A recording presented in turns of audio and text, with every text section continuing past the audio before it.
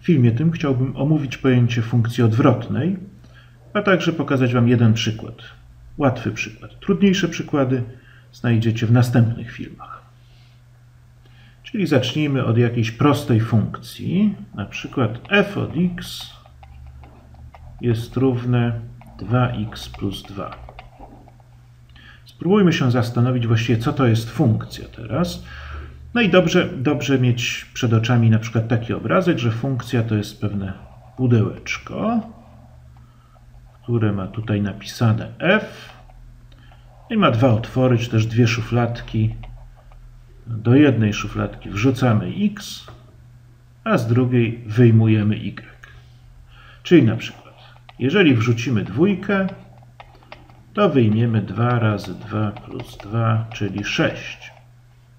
A jeżeli wrzucimy minus dwójkę, to wyjmiemy 2 razy minus 2 plus 2, czyli minus 4, minus 2. Dobrze, czyli no, to nasze pudełeczko ma taką własność, że jak tu wrzucimy dwójkę, to wyciągniemy tu szóstkę, a jak wrzucimy minus dwójkę, to wyciągniemy też minus dwójkę. Czyli mamy pewne rzeczy, które możemy do tego pudełeczka wrzucać, czy też do których możemy stosować naszą funkcję. I ten zbiór tych rzeczy nazywamy dziedziną, czyli to jest dziedzina funkcji.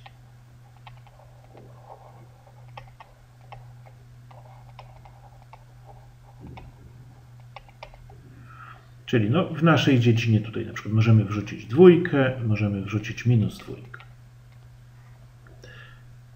Jeżeli w tym naszym konkretnym przykładzie, no jaka jest dziedzina, jakie liczby tutaj możemy, do jakich liczb możemy ten wzór stosować, no do każdej liczby rzeczywistej. Prawda? Czyli w tym naszym przykładzie dziedziną funkcji f są wszystkie liczby rzeczywiste, ale możemy pomyśleć o funkcji na przykład pierwiastek z x. No i wtedy tam dziedziną będą tylko liczby dodatnie, no i 0.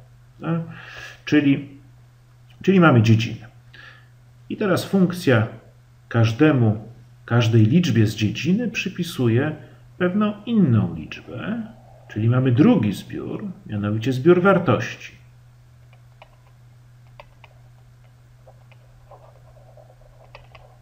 Zbiór wartości funkcji,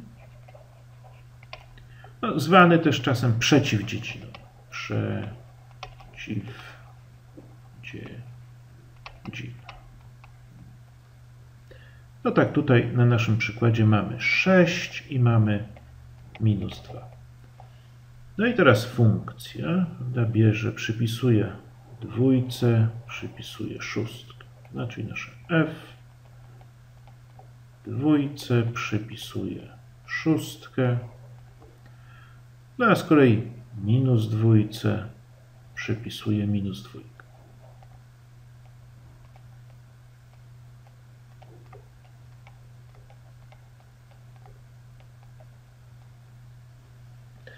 Teraz możemy się zapytać, czy istnieje sposób, czy istnieje inna funkcja, która działa w drugą stronę.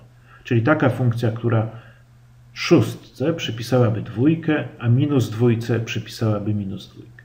Czyli w tym obrazku z pudełeczkami pytamy się, czy istnieje takie inne pudełeczko, które ma tę własność, że jeżeli wrzucimy y, to wyciągniemy z powrotem x. Tak? Czyli to pudełeczko miałoby tę własność, że jak wrzucimy szóstkę, to wyciągniemy z powrotem dwójkę. A jak wrzucimy minus dwójkę, to wyciągniemy minus dwójkę. Jeżeli takie pudełeczko istnieje, jeżeli istnieje taka funkcja, to nazywamy ją funkcją odwrotną do f, no i oznaczamy przez f do minus pierwszej. Tak, to jest oznaczenie.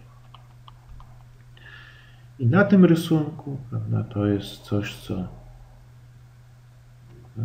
idzie w drugą stronę. Tak? Czyli tu jest f do minus pierwszej, minus 2, minus 2, a z kolei 6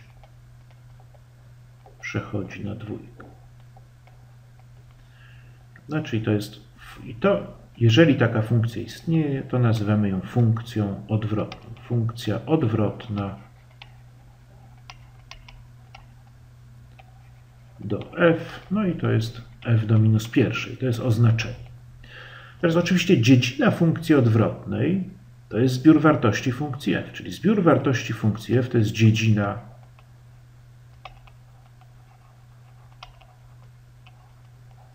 f do minus pierwszej, a z kolei dziedzina f to jest zbiór wartości, zbiór wartości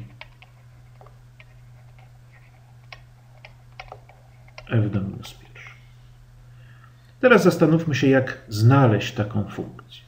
No, podstawową własnością tej naszej funkcji odwrotnej ma być, że jeżeli y jest równe f od x, to x to jest właśnie f do minus pierwszej od y. Czyli w naszym przypadku, jeżeli f jest 2x plus 2, to żeby znaleźć tę funkcję odwrotną, to musimy to równanie rozwiązać ze względu na x, czyli rozwiązujemy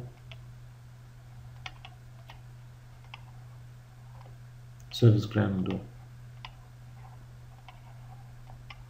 na x. Czyli y równe 2x plus 2. No jest to proste równanie liniowe. To co? Odejmujemy 2 od obu stron.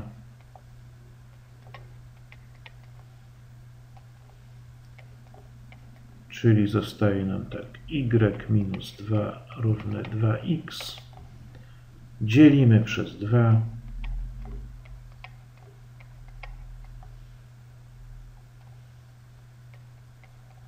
Czyli 1 druga y minus 1 równe x. No, czyli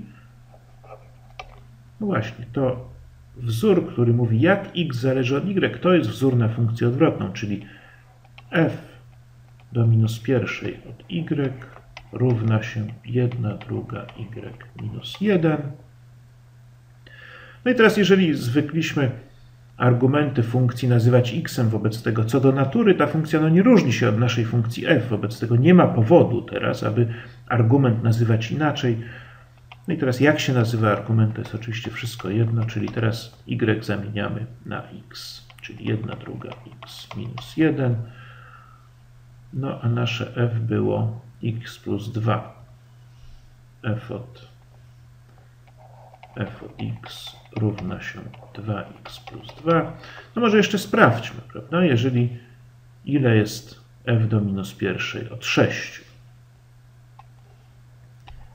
f do minus pierwszej od 6 to ma być tak 1 druga razy 6 minus 1, czyli 3 minus 1, czyli 2. No i to, prawda, to funkcja odwrotna szóstkę miała przeprowadzać na dwójkę. No i rzeczywiście tak jest, no i jeszcze minus dwójkę, prawda, f do minus pierwszej od minus 2 równa się 1 druga razy minus 2 minus 1, czyli to jest minus 2. Teraz może jeszcze narysujmy wykresy tych funkcji, żeby zobaczyć coś.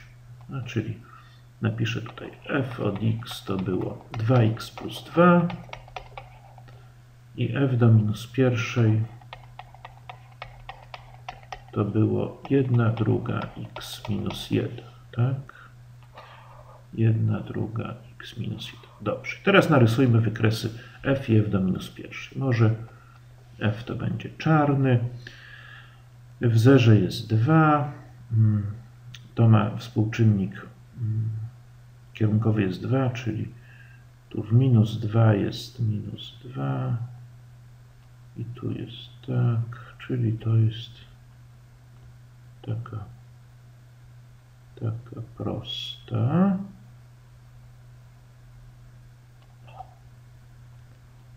Czyli to jest f od x. f od x równe 2x plus 2.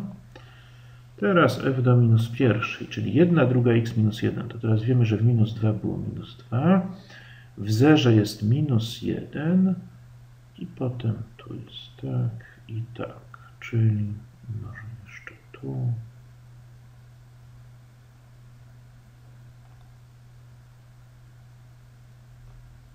No powiedzmy, że to jest proste. Czyli to jest f do minus pierwszej od x to było 1 druga x minus 1.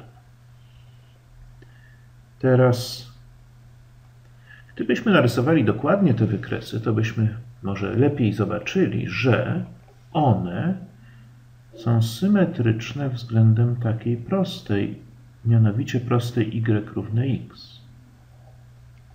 Tu jest prosta y równe x. Tak, może napiszmy to. Wykresy f i f do minus pierwszej są symetryczne względem prostej y równe x. No i dlaczego tak jest? Tak? Powiedzmy, że mamy pewien punkt A i B, który jest na wykresie, na wykresie F, to znaczy B jest F od A. Ale jeżeli B jest F od A, to A jest F do minus pierwszej od B. Czyli punkt BA leży na wykresie f do minus pierwszej. I teraz punkty A i B i punkt BA to są właśnie symetryczne względem prostej y równy x. Czyli, tak jak mówiłem, wykresy funkcji i funkcji odwrotnej są symetryczne względem prostej y równy x.